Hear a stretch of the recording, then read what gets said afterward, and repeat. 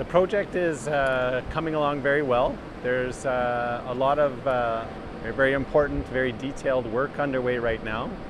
We've moved away from uh, the big, heavy uh, rebar and formwork and concrete work, and we're now into the much more precise uh, electrical and mechanical and turbine and generator installation work.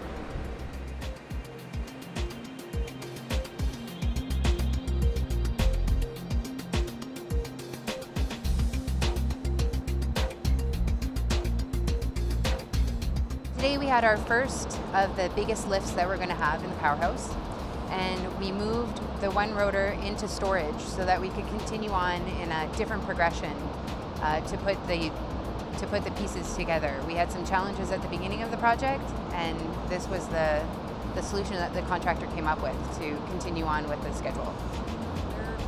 All big projects come with unique challenges. There's often minor bugs here and there that come up that have to be resolved to keep that work proceeding properly.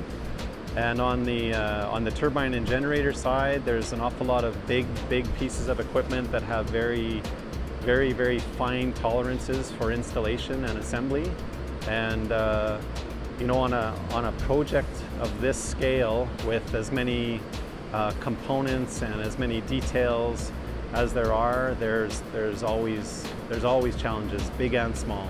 And uh, many of them have been met head on by lots of people who work very, very hard to overcome them.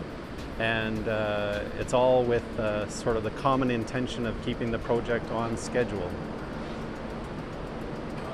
I'm looking forward to when we go and align everything and when everything is put together and we actually go to spin it for the first time. That's, that's going to be exciting for me. We're happy with the progress being made on, uh, on the project at this point in time. A lot of people have collaborated together and worked really hard to develop some unique solutions to some of those challenges that have come up.